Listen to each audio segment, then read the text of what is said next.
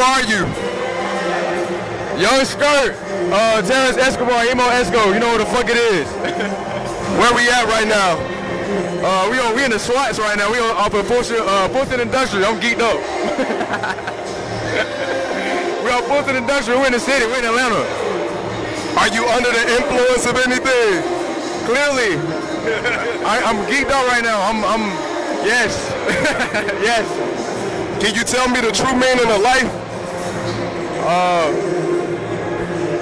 ha- happiness, bro. You know what I'm saying? Do what the fuck you love to do. Don't be a fucking robot. Like, just do what the fuck you want to do. That's that's the meaning of life. Just being true to your purpose.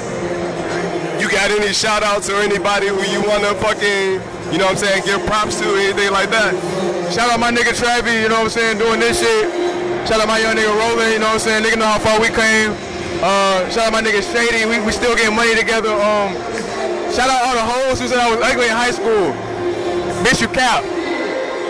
Do you have any projects right now that's out or anything that's coming out that anybody should be, you know what I'm saying, hyped up for? Like, give me anything that you've been working on that I should be looking out for. Um, Counterfeit Reality, that's a uh, 14 track EP, me and Roland going crazy.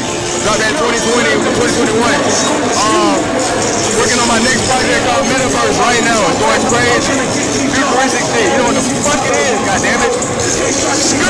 Yeah, big skirt vibes, man. Shout out my nigga Travis. Keep up. Yeah, nigga.